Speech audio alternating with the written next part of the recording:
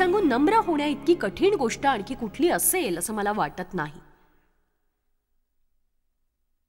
नीतीसूत्र अध्याय सहा वचन सोळा या सहा गोष्टींचा प्रभूला तिटकारा आहे. नव्हे सात गोष्टींचा त्याला वीट आहे वीट. सातवी गोष्ट आहे भावाभावामध्ये वैमनस्य उत्पन्न करणारा मनुष्य. भावाभावात वैमनस्य उत्पन्न होण्याचं कारण आहे गर्व. परमेश्वराला ज्या गोष्टींचा वीट आहे त्यात सगळ्यात आधी आहे उन्मत्त दृष्टी. असा स्वभाव जो स्वतः इतरांपेक्षा थोर मानतो आणि इतरांना तुच्छ मानतो. वाव! याचा अर्थ आहे आपण स्वतःला इतरांपेक्षा थोर मानतो? प्रत्येक चर्च स्वतःला दुसऱ्या चर्चपेक्षा थोर मानतं आणि जेव्हा एखादा वक्ता व्यासपीठावरून दुसऱ्या चर्चवर टीका करतो तेव्हा मला खूप दुःख होतं.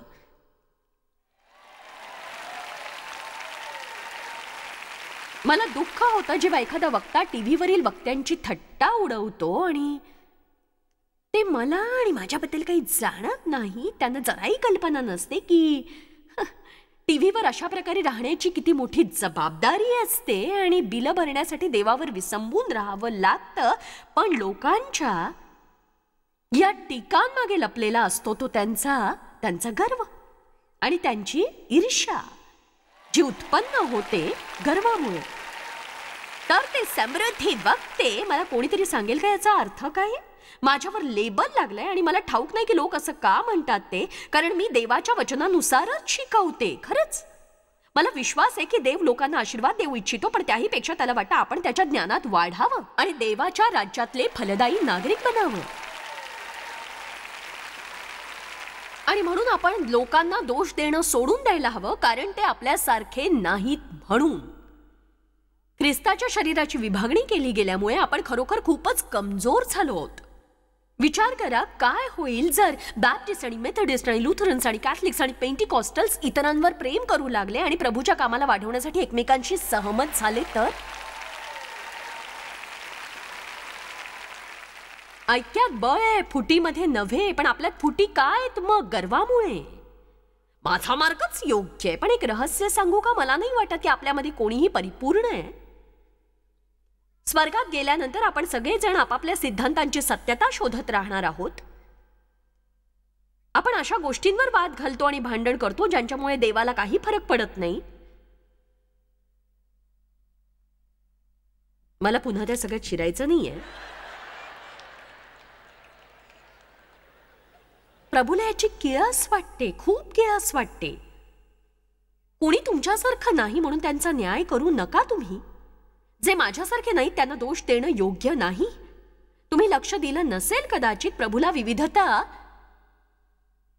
ही खूपच आवडते आपल्या सगळ्यांमध्ये वेगळेपणा आहे नक्कीच. काय? आता हे बघा जरा.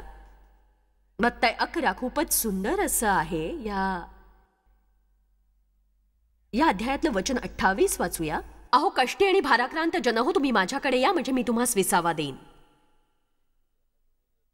मी तुमचं ओझं हलकं करून तुम्हाला ताजतवानं करीन. माझे जू आपणावर घ्यावं माझ्यापासून शिका कारण मी मनाचा सौम्य आणि हृदयाचा लीन आहे आणि तुम्हास विसावा मिळेल. आराम सुख ताजेपणा आणि संजीवन आणि शांती मिळेल आपल्या आत्म्यासाठी. एक गोष्ट सांगू का? गर्व गर्व तुमच्यावर शिरजोर झालाय कारण तुम्ही आपला सगळा वेळ इतरांवर टीका करून त्यांना दोषी ठरवण्यात वाया घालवता आणि असं असा भासा होता की सगळ्यांविषयी मत व्यक्त करण्याचा तुम्हाला हक्कच आहे आणि तुम्ही सगळ्यांना सांगू शकता तुम्हाला काय वाटतं काय वाटतं काय वाटतं काय वाटतं? मला सांगायचंय की मला काय वाटतं मला सांगायचं मला काय वाटतं? मी वरचेवर इतर वक्त्यांबरोबर भोजन करायला जायचे ही काही वर्षांपूर्वीची गोष्ट आहे आणि माझ्या हे लक्षात आलं की स्वतःच्या सेवेची टिमकी मिरवण्याच्या नादात कुणीच काही खाऊ शकायचं नाही. बघा मी हे असं करतो मी तसं करतो माझं चर्च असं असतं माझं चर्च तसं असतं आणि एके दिवशी मी भोजनासाठी गेले तेव्हा प्रभू म्हणाला माझी इच्छा आहे तू तोवर काही बोलू नकोस जोवर कुणी तुला विचारणार नाही की तू काय करतेस. जेवण संपता संपता माझ्या लक्षात आलं की त्यानं माझ्यात रसच नव्हता. कुणीच माझ्या कामाविषयी काही विचारलं नाही. कित्येकदा आपण एकमेकांना भेटतो पण आपल्याला एकमेकांमध्ये रसच नसतो. आपण एकमेकांना प्रभावित करू इच्छितो. हो माझा संदेश चांगला आहे.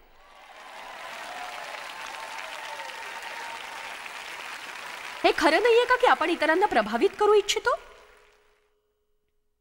काय सांगू? टिमकी मिरवण्याच्या नादात आपण महत्त्वाच्या लोकांची नावं घेऊन लोकांना हे भासवतो की आपण कशा प्रकारे त्यांना ओळखतो कसे त्यांच्या जवळचे आहोत ते मनात ठेवायला आवडत नाही आपल्याला.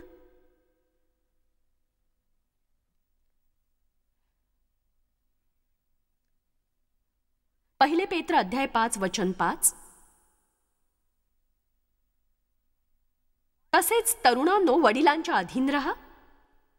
म्हणजे असं नव्हे की तुम्ही कुणाच्या खाली राहावं म्हणजे याचा अर्थ असा असू शकतो की इतरांपेक्षा तुमचं पद वेगळं असेल आणि तुम्ही वडिलांच्या अधीन राहा जे चर्चचे आध्यात्मिक मार्गदर्शक आणि सेवक आहेत प्रत्येकालाच असं वाटतं की त्यांनी आपलं काम सांभाळावं आणि त्यांनी आपलं काम करावं. आणि चर्चमध्ये तुम्हाला तुमची चूक दाखवण्यात आली तर सगळ्यात आधी जाऊन तुम्ही स्वतःसाठी दुसरं चर्च शोधता. जर कुणी तुम्हाला एका आठवड्यापर्यंत कुठलं पद दिलं नाही तर तुम्ही म्हणता की ते प्रभूचं ऐकत नाही तुमची कला वाया चाललेली आहे वगैरे वगैरे? ओ बाप रे स्वतःला प्रभूच्या पराक्रमी हाताखाली नम्र करा आणि प्रभूच तुम्हाला उंच करील. त्याला ही संधी द्या. मला आठवत आहे की पहिल्यांदा जेव्हा मी शिकवायला लागले होते आणि हे करण्यासाठी प्रभूने मला वरदान दिलंय मला शिकवण्याची शिकवण्याची ओढ होती आणि आणि त्यात मी निपुण होते. मला हे वरदान मिळालंय तेव्हा मी कौटुंबिक अभ्यास घेत होते. वीस पंचवीस लोक यायचे. तीस म्हणजे फार मोठा समुदाय झाला खरंच आहो तेव्हा मी तेवढंच करायचे तेव्हाही मी तसंच शिकवायचे. फरक इतकाच तेव्हा मला इतकं ज्ञान नव्हतं. तुम्हाला माझं ऐकायला आवडत असेल तर तुम्ही तेव्हा ऐकायला हवं होतं. आणि जेव्हा मी बायबल शिकवायला सुरुवात केली मी मी सत्य सांगू इच्छिते मी आमच्या घरातल्या जमिनीवर बसायचे आणि मी लहानशी विजार घालायचे माझी विजार फार अखूड असायची. आणि मी वचन शिकवताना प्रत्येक व्यक्तीच्या चेहऱ्यावर धूर सोडायचे.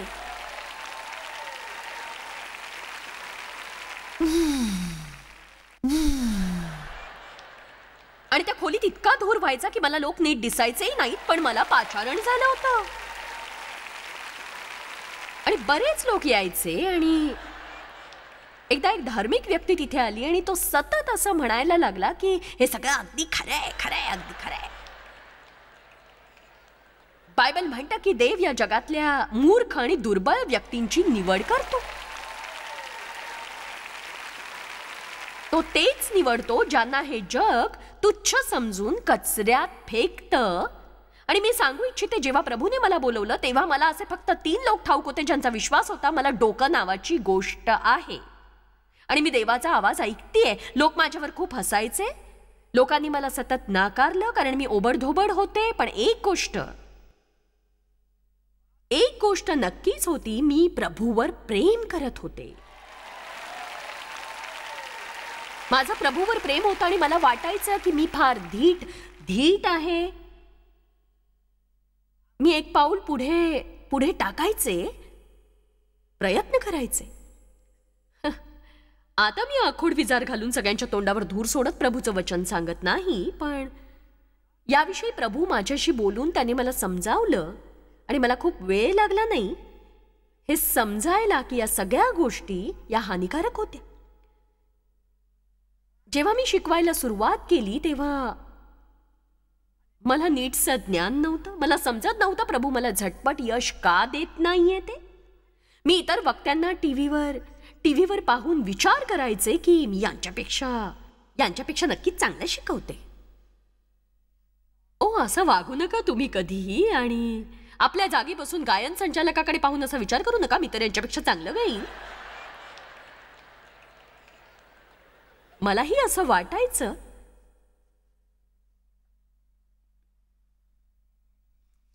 पण मला ज्ञान नव्हतं. मला वाटायचं की वरदान वरदान असणं हे खूप महत्वाचं आहे. मला हे शिकायला काही वर्ष लागली की देव इतरांनाही वरदान देतो जे त्यांना पुढे घेऊन जातं. पण तिथे पोहोचल्यावर ते आपलं स्थान टिकवू शकत नाहीत. नक्कीच नाही. आज जगात आपण चारित्र्याशिवाय झालेले चमत्कार बघतो. कोणीही उभं राहून समुदायाला प्रभावित करू शकतं पण पडद्यामागे ते लोक तसंच जीवन जगत नाही ज्याविषयी ते इतरांना शिकवतात. नक्की?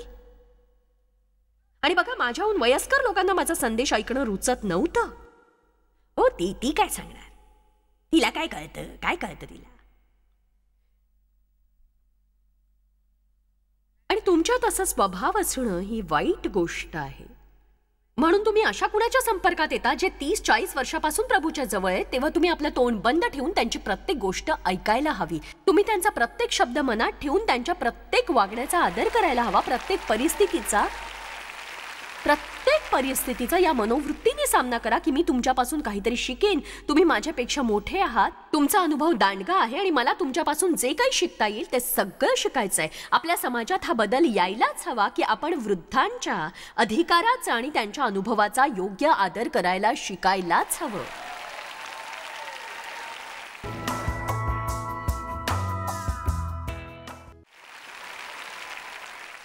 देव कधीही आणि कुणाच्याही माध्यमातून आपल्याला शिकवू शकतो. एका संदेश त्याला त्याने गाढवाच्या मुखातून शिकवलं. कारण तो मनुष्य कोणत्याही प्रकारे ऐकायला ते तयार नव्हता. गर्व ही खरंच वाईट गोष्ट आहे. तो तुमच्यापासून तुमची सेवा कायमची हिसकावून घेईल.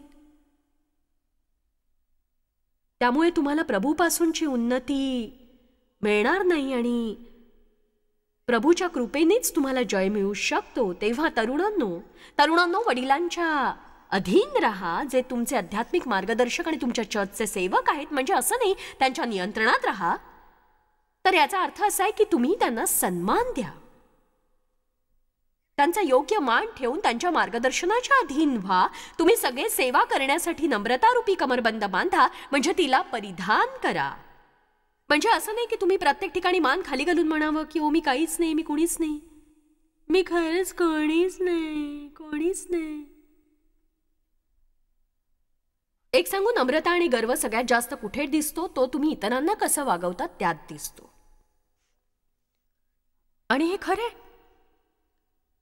मला आठवतंय जेव्हा आम्ही चर्चमध्ये आलो होतो महिला संमेलनाच्या कार्यक्रमासाठी जो इथे काही महिन्यापूर्वी झाला होता आणि आता नेहमीच होतो. तेव्हा डिनो आणि त्यांचं कुटुंब आणि इथले चर्च लोकांना भेटी देत होते. ते नेहमीच आम्हाला भेटी देतात जेव्हा आम्ही येतो. पण एक सांगू ते मला आणि डेवला मात्र कधीच भेटी देत नाहीत. ते आमच्यासोबत प्रवास प्रवास करणाऱ्यांना नक्कीच नेहमी भेटी देतात आणि कार चालवणाऱ्या माणसाला माझ्या सेक्रेटरीला तिच्या नवऱ्याला आमच्यासोबत असलेल्या इतर लोकांनाही आणि मला ते लोक आवडतात जे फक्त महत्त्वाच्या लोकांवरच लक्ष केंद्रित करत नाहीत. चला ते याची काळजी घेतात की सगळ्यांनाच मान मिळेल. बायबल म्हणतं सगळ्यांचा सन्मान करायला हवा. जेव्हा आपण लोकांना प्रभावित करू इच्छितो तेव्हा तो असतो तो फक्त गर्व. अशी व्यक्ती बनू नका जी फक्त त्यांचा सन्मान करते ज्यांना ती महत्त्वपूर्ण समजते आणि त्या सर्वांना तुच्छ समजते जे छोटे असतात. मला आठवतं जेव्हा मी आमच्या चर्चच्या सहाय्यक सेवेत होते तेव्हा मी वचनाची सेवा करत नव्हते. आणि आमच्या पालकांनी आम्हाला पाठवले एका लोकप्रिय संगीतकाराला भेटायला आणि तो संगीतकार फारच लोकप्रिय होता. तो आमच्याशी बोलला सुद्धा नाही. तो फारच असभ्य होता. आणि ती गोष्ट आमच्यासाठी डोळ्यातल्या डोळ्यातल्या अंजनासारखी ठरली. आपण अशा लोकांनाच मान देतो जे मोठ्या हुद्द्यावर असतात आणि त्यांना भेटल्यावरच सत्य समोर येतं आपल्या. पण पण एक सांगू का? काही वर्षानंतर त्याला आपल्या जीवनात आणि आपल्या सेवेमध्ये फार कठीण परिस्थितीचा सामना करावा लागला. आणि तेव्हा माझ्या लक्षात आलं की आमचा उत्कर्ष देवाने केला आहे आणि आणि आम्ही आणि आमची सेवा फार लोकप्रिय झाली आणि तो तो संगीतकार बिचारा लोकांना मदत मागत होता. मी आज इथे तुम्हाला फक्त देवाच्या सिद्धांताविषयी सांगू पाहते. इथे एक असा होता जो स्वतःला आमच्यापेक्षा ग्रेट समजत होता. तो आमच्याशी फार असभ्यपणे वागला होता पण संतुलन राखण्याची प्रभूची स्वतःची पद्धत असते. किती जणांना ते समजलं? म्हणून बायबल म्हणतं स्वतःला देवाच्या पराक्रमी हाताखाली नम्र करा. म्हणजे योग्य समयी प्रभू तुम्हाला योग्य पदावर स्थापित करील आणि तुम्हाला अशा पदावर राखील जिथे तुम्ही सन्मान आणि सत्यतेने राहू शकाल. मला लोकप्रिय वक्ता बनायचं होतं. जेव्हा मी घरगुती बायबल अभ्यास शिकवत होते तेव्हा मला ही जाणीव नव्हती की तेव्हा मला लोकप्रिय न करून प्रभूने माझ्यावर कृपा केली कारण तेव्हा त्या पदासाठी मी लायक नव्हते. मला वाटायचं की मी तशी आहे तयार आहे पण ते खरं नव्हतं. जेव्हा तुम्ही स्वतःला तयार समजता तेव्हा तुम्ही नसता आणि जेव्हा तसं समजत नाही तेव्हा असता. बायबल म्हणतं कोणत्याही नव्या विश्वासणाऱ्याला नेतृत्व सोपवू नका नाही तर लोक गर्वाने फुकतील आणि आणि उच्च पद तुम्हाला मूर्ख बनवेल. कारण अचानक तुम्ही सगळ्यांपेक्षा सरस ठरता फक्त एक लहानशी पदोन्नती. बघा कशी लोकांना पतनाकडे घेऊन जाते आणि माझ्यासाठी यापेक्षा मोठी गोष्ट कुठलीच नाही की मी लोकांशी योग्य वर्तन करावं. हे माझ्यासाठी नंबर वन आहे. लोकांचा मान ठेवणं लोकांची नेहमी योग्य वर्तन करणं. विशेषत त्यांच्याशी ज्यांच्याविषयी आपल्याला वाटतं की ते छोटे आहेत किंवा क्षुल्लक आहेत पण प्रभूसाठी हे छोटे नसतात. माझ्यासाठी हे महत्वाचं आहे की मी ढोंगी आहे मी ते नाही शिकवत जे मी जगत नाही. मी सगळ्यांची योग्य वर्तन करावं आणि जेव्हा करत नाही तेव्हा नम्रतेने त्यांच्याकडे जाऊन मी त्यांची क्षमा मागावी. सगळं काही ठीक करावं. चला आता जोरदार टाळ्या वाजवा.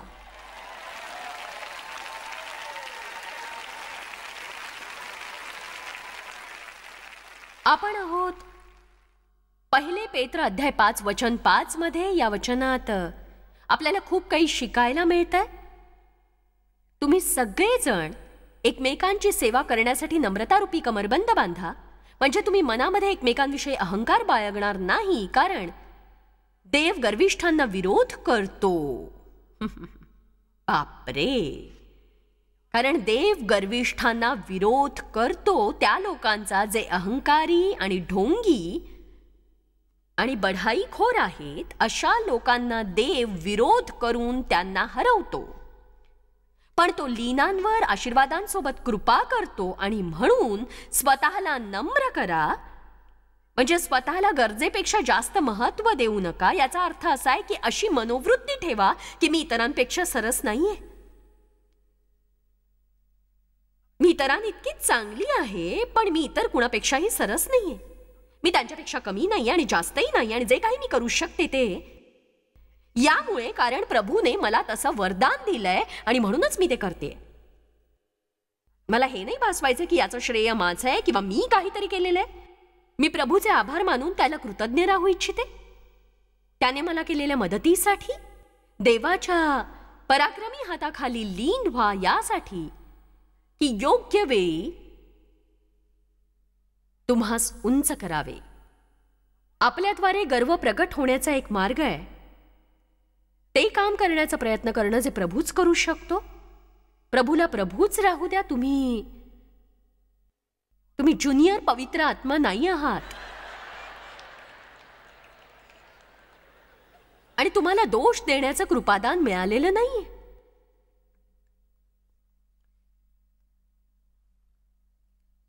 एक सांगू काही लोक खरं तर सेवेत आहेत आणि त्यांचं सेवा कार्य असूनही ते इतरांच्या सेवा कार्यावर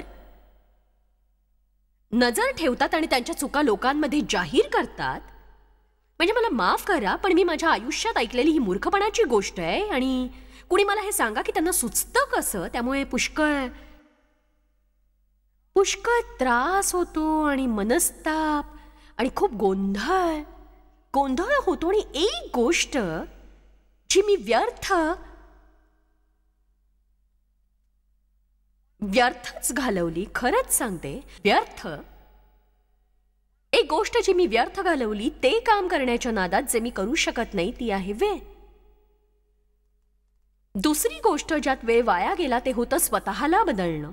तुम्ही ते करू शकत नाही हे फक्त प्रभूचं काम आहे. मी चर्चला जात होते तिथे तोंडावर संदेश ऐकत होते आणि हा निश्चय करत होते मी शांत राहीन काहीच बोलणार नाही. मग मी निराश व्हायचे मला समजत नव्हतं ही निराशा का आली आहे? आणि मग मी चांगलं करण्याचा प्रयत्न करायचे आणि प्रभू मला असं म्हटला की बघ तू तोंड बंद ठेवलंयस पण आतमध्ये सगळा गोंधळच आहे ना. चला आता हा चांगला संदेश आहे. बघा मी स्वतःला काहीच न बोलण्याची शिस्त लावू शकते मी पेचात पडू नये म्हणून पण देवाला काळजी आहे ती आपल्या आतल्या स्वभावाची जो आपल्या हृदयात आहे आणि आपण प्रभूशिवाय स्वतःला बदलू शकत नाही कारण आपण फक्त बाहेरच्या वागण्यावर नियंत्रण ठेवू शकतो. पण आपल्या हृदयात कार्य करू इच्छितोय देव आपले हेतू आपले हेतू बदलण्यासाठी. जर मी माझ्या जीवनातली एक कुसळ काढू शकले तर दुसरी कुसळ दुसऱ्या ठिकाणी उगवेल. कारण मी आतून ती जुनी आहे. प्रभूला आपल्यात बदल घडवून आणायचा आहे पण त्यासाठी आपण प्रभू समोर गुडघे टेकून म्हणायला हवं. प्रभू कालच्या संदेशाने मला स्पर्श केलाय आणि प्रभू मला ठाऊक आहे माझ्यात बदल व्हायलाच हवा आणि मी दोषी आहे. प्रभूजी पश्चाताप करते. मी मला क्षमा कर आणि तू मला बदललं नाहीस तर मी याच दशेत कायम राहीन. मी असं म्हणणं सोडून दिले की प्रभू फक्त यावेळी मला क्षमा कर मी पुन्हा असं करणार नाही प्रभू. मी वचन देते पुन्हा नाही करणार. मी अशी प्रार्थना नाही करत. मी म्हणते प्रभू तुम्हाला मदत केली नाहीस तर माझ्याकडून पुन्हा हे होईल. मी तुझ्यावर अवलंबून आहे प्रभू. मी तुझ्यावर विसंबून आहे. तुम्हाला मदत केली नाहीस तर पुन्हा तीच चूक होईल. मी स्वतःशीच संघर्ष केला आणि संघर्ष केला खूप संघर्ष केला खूप संघर्ष केला. स्वतःवर प्रेम करू लागले आणि आता हालेलुया मी स्वतःला आवडते. मग सांगू मला कशाची जाणीव झाली ते? प्रभू माझ्यामुळे चकित नव्हता. त्याला ठाऊक होतं माझ्या रूपात त्याला काय मिळालंय. दुसरी मूर्खपणाची गोष्ट मी केली. मी माझ्या पतीला बदलण्याचा खूप प्रयत्न केला. सतत. नाही मला माहिती तुम्ही असं करत नाही. पण शेवटी आपण हाच विचार करतो की माझा बरोबर आहे सगळ्यांचं चूक आहे म्हणून त्यांनी आपल्याशी सहमत झालंच पाहिजे हे बरोबर आहे ना? माझंच बरोबर आहे. मीच अगदी बरोबर बोलतोय. जेव्हा लोक बाहेर जाऊन फर्निचर किंवा आणखी काही विकत घेतात त्यांची आवड माझी आवड नसते आणि मी म्हणते तुम्हाला हे आवडत कसं शकता सगळं? म्हणजे माझं वाचाळ तोंड तर होतच पण माझी नजरही तीव्र आणि तीक्ष्ण होती. एका नजरेत मी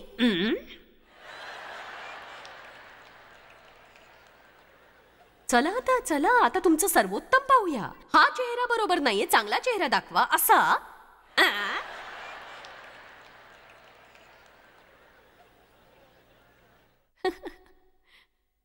चला आता. नेहमीच तुम्ही तोंडाने बोलता असं नाही. अगदी. किंवा मग असंही.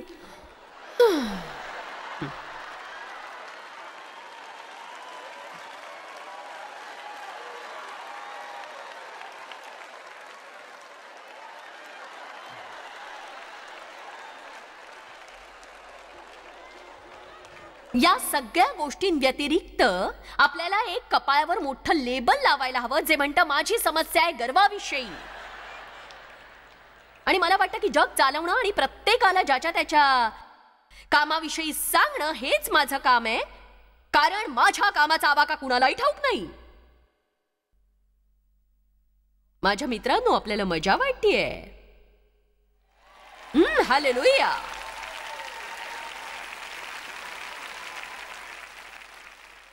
आता मला तुम्हाला आणखी एक खास गोष्ट सांगायची आहे. तुम्हाला जोवर गर्वावर जय मिळणार नाही तोवर तुम्ही हे मनन मनन मनन मनन आणि प्रार्थना करणार नाही. आमे देव आपल्यासाठी खूप काही करू इच्छितो पण आपण त्याच्या पराक्रमी हाताखाली नम्र व्हायला हवं.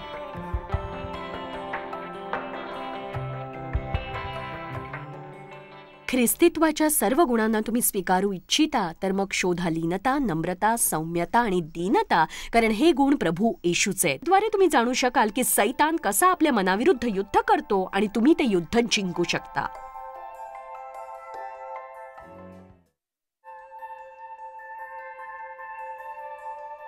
आम्ही तुमची प्रशंसा करतो. जगभरामध्ये हे सेवा कार्य शक्य करण्यासाठी आम्ही आमचे मित्र आणि भागीदार यांचे आभारी आहोत. एकत्रपणे आम्ही भुकेलेला अन्न पुरवितो गरिबांना वस्त्र पुरवितो आणि राष्ट्रांना सुवार्ता सादर करतो. कृपया आमच्याशी संपर्क साधा किंवा भेट द्या. TMM India dot O R G वर आजच तुमच्या प्रार्थना विनंत्या सादर करा. आमच्या इतर साधनांची माहिती मिळवा. जॉयच्या सभेचे वेळापत्रक पहा आणि आमच्या बरोबर सहभागी व्हा. आम्ही येशूची प्रीती जगभरात वाटतो दाखवण्यात आलेला कार्यक्रम जॉयस्मार मिनिस्ट्रीचे मित्र व भागीदार यांच्याद्वारे केला आहे.